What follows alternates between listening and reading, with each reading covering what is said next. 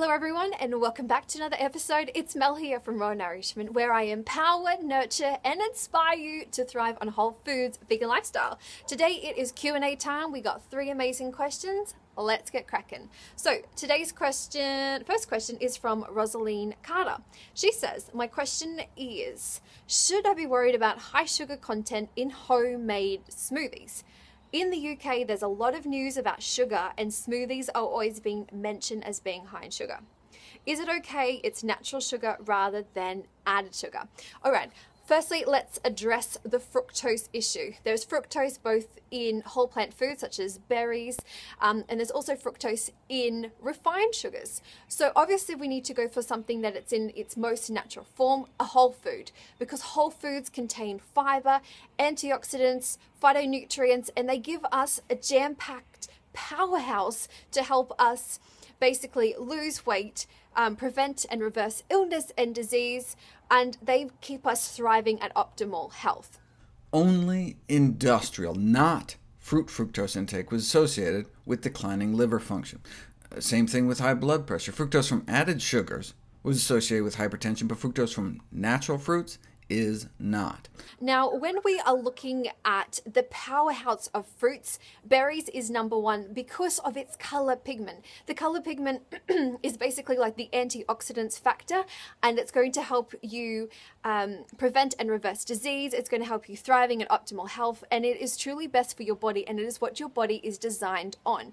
If we look at the powerhouse of vegetables, then we're looking at greens because of the color and the phytonutrients. So you really need to be be looking at consuming more color into your diet.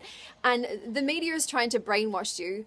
Um, to believe that oh this is too too much sugar and fruits and blah blah blah blah blah you know do your research educate yourself so you can basically arm yourself with the knowledge to prevent yourself and other people that you know from falling into the trap of being brainwashed from society and you basically need to become your own doctor. You need to question everything. So we need to go through green light foods.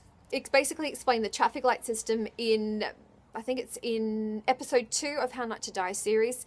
Green light foods are unprocessed foods.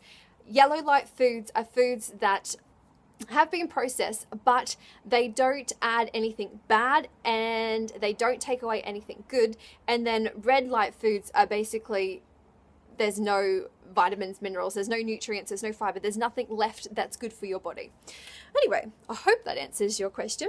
So basically, oh, in regards to sugar, if you need to add sugar into your foods, the best one to add would be date sugar because it's a whole plant food. You literally take dates, you put them in the oven, and they um, become a little bit hard. Put them in the blender, and they basically like crystallize when they're in the oven. Blend them up, and then you've got sugar and that's something that I need to do because I mentioned, I think it was in episode four of How Not to Die.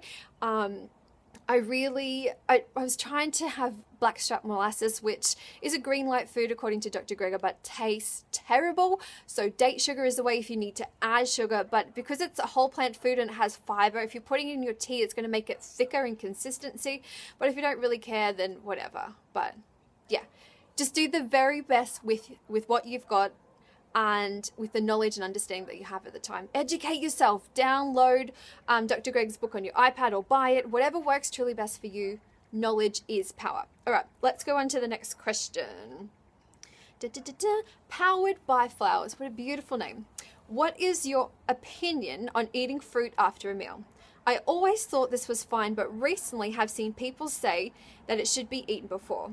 You are my inspiration. Thank you. Oh my gosh, let's just check her out. Jen! Oh, she's cute.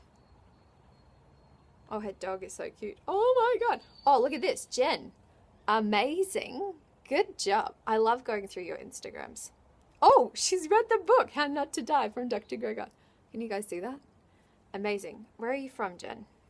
You've got Mickey Mouse ears on. I used to work for Disney. Oh my goodness.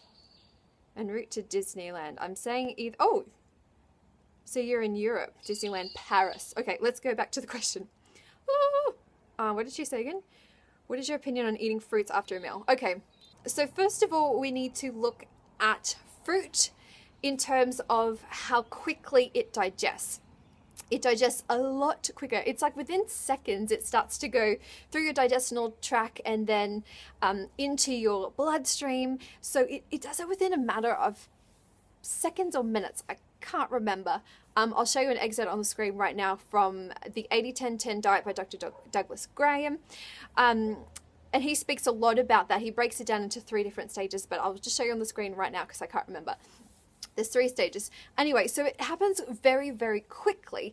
So obviously it digests quickly so if you're eating fruit after a meal it's going to ferment in your stomach because it's taking a lot longer for your body to digest what you've eaten first um, it's like a process of elimination. So if you eat this first that's going to digest faster than what you're having last okay? But what i've noticed on my journey is that sometimes i do eat fruit after um, whatever my main meal is.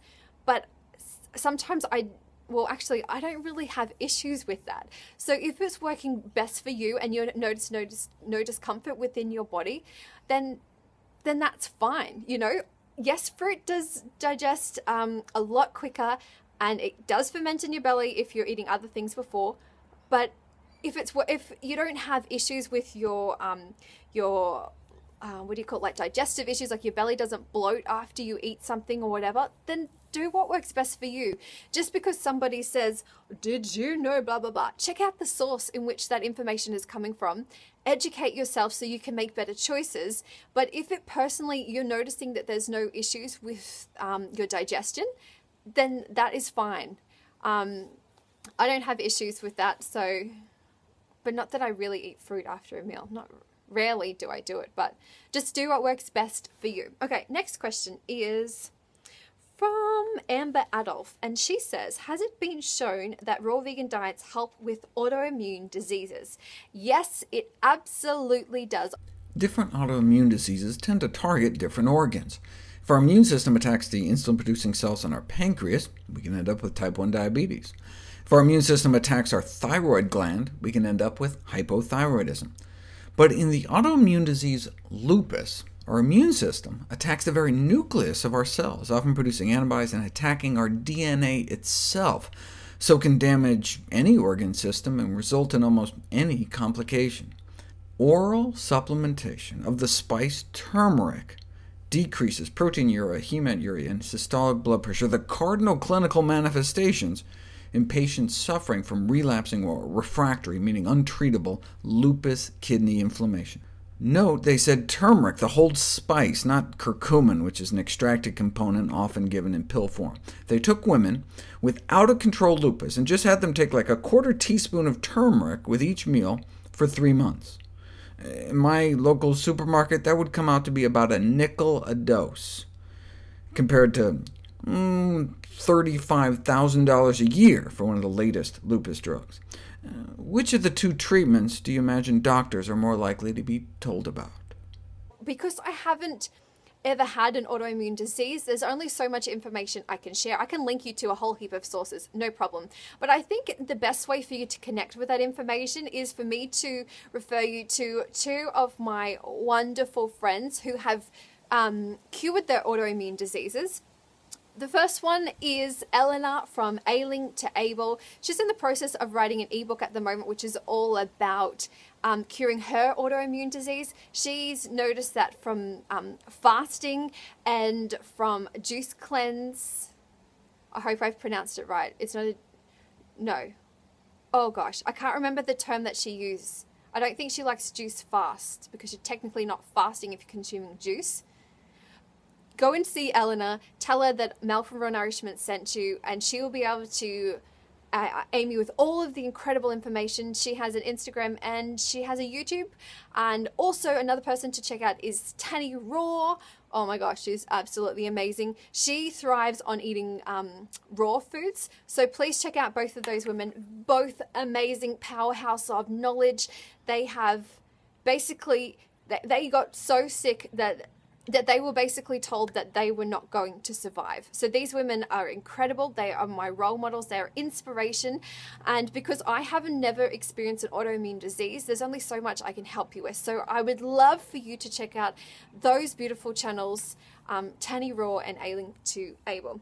Anyways, my loves, thank you so much for your wonderful questions. I just wanted to remind you to continue to make better choices on your journey to become your greatest version. I truly appreciate when you take the time to ask me questions because you really make me think and I'm like, "Oh, how can I help you help these girls out the best way I can?" and I'm like doing all this research and trying to get everything right. So I hope this has been helpful. If it has, please give me a thumbs up. That would be amazing. If you're new to the Raw Nourishment fam, subscribe videos every Tuesday and Thursday at 6 p.m. We cover a wealth of topics from delicious and nutritious foods. We talk about self-love because love heals all blockages. We talk about fitness, exercise, motivation, and I have a little bit of activism thrown in there. Not per se in like an activism video, it's like thrown in. In particular, when I'm talking about um, makeup and cruelty free cosmetics, I also share with you my very transparent healing and weight loss journeys. If you are a newbie vegan, I've made a whole playlist called the Newbie Vegan Starter Guide. It's everything that you need to know to um, become vegan. Hopefully, this was helpful.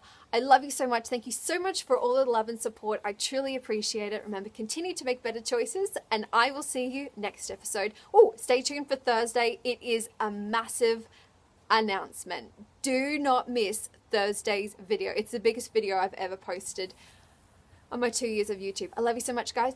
Stay tuned for Thursday, and I will see you next episode. I love you guys. Bye. Have a good day. Remember, continue to make better choices.